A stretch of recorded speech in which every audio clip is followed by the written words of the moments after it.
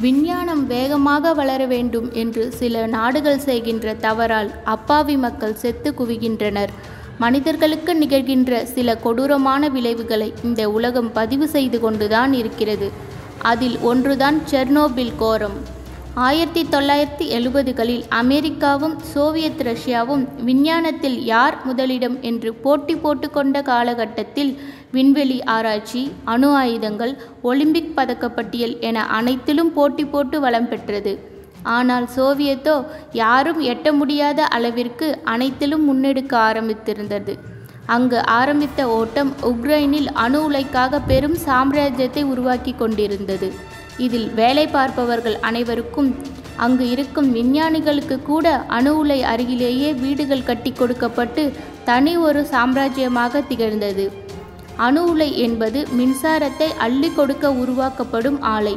அந்த காலத்தில் விஞ்ஞானம் வேகமாக உயர வேண்டும் என்றால் அதற்கு அடிப்படை ஆராய்ச்சிக்காக தேவைப்படுவது மின்சாரம் மட்டுமே. அதையும் லாவகமாக கொடுப்பது அணு உலை. ஒரு கிலோ யுரேனியமில் பல கிலோவாட் மின்சாரத்தை கொடுப்பது அணு உலை. ஆயிரத்தி தொள்ளாயிரத்தி எழுபத்தி ஏழில் அணு உலை இயங்க ஆரம்பித்தது. அடுத்த ஒன்பதாவது ஆண்டு நடக்கப்போகும் கொடூரம் தெரியாமல் அங்கு உள்ள மக்கள் மகிழ்ச்சியோடு வாழ்ந்து வந்தார்கள். ஆயிரத்தி தொள்ளாயிரத்தி எண்பத்தி ஆறு ஏப்ரல் இருபத்தைந்து அன்று மக்கள் தங்களுடைய வேலைகளை முடித்துவிட்டு பல கனவுகளோடு தூங்க சென்றார்கள். பாவம் அவர்களுக்கு தெரியாது. அடுத்த நாள் நமக்கு விடியாத இரவாக போகிறது என்று. சரியாக இரவு ஒரு மணி அளவில் நான்காவது யூனிட் நீர்க்குழிவு சாதனம் செயல்படாமல் போனது. அதனுடைய மையம் வெடித்து படும் மோசமான கோரச்சத்தம் வெளிப்பட்டது அங்கு இருக்கும் மக்களுக்கு அங்கு என்ன நடக்கிறது என்பது புரியும் முன்பே கதிர்வீச்சின் தாக்கம் தலைவிரித்து ஆடத் தொடங்கியது.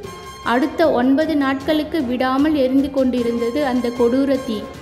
சுமார் பத்து லட்சம் போர்ப்படை வீரர்களை வைத்து வானில் ஹெலிகாப்டர் மூலம் மணல் தூவி தீயை கட்டுக்குள் கொண்டு வர பார்த்தது ரஷ்ய அரசு. ஆனால் அதற்குள் கதிர்வீச்சின் வீரியம் மனிதர்களை கொல்ல ஆரம்பித்தது. சாதாரண தீ என்றால் அணைத்திருக்கலாம். ஆனால் இது மனித சக்திக்கும் அப்பாற்பட்ட சக்திதான் கதிர்வீச்சு. அதில் சுமார் தொண்ணூறாயிரத்திற்கும் அதிகமான மக்கள் தீக்கு இரையாகினர். கதிர்வீச்சு மனித உடலுக்குள் ஊடுருவி மனித செல்களை அழித்துவிட்டு மனிதர்களை ஒன்று அல்லது இரண்டு வாரங்களில் அழுத்திவிடும்.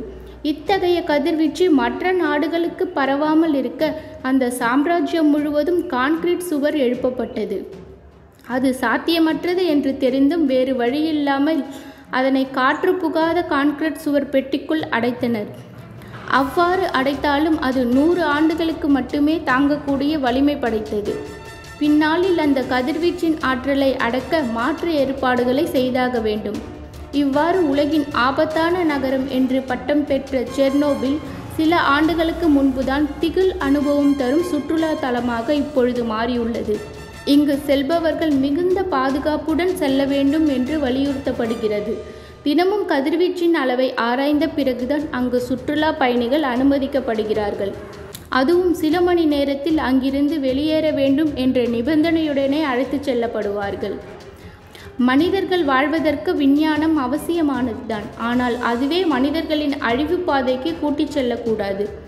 எந்த ஒரு நாடும் மனிதனின் வாழ்வாதாரத்தை பெருக்கிக் கொண்டு நாட்டையும் வளம் பெற செய்கிறதோ அதுவே உலகின் மிகச்சிறந்த வளமான நாடாகும்.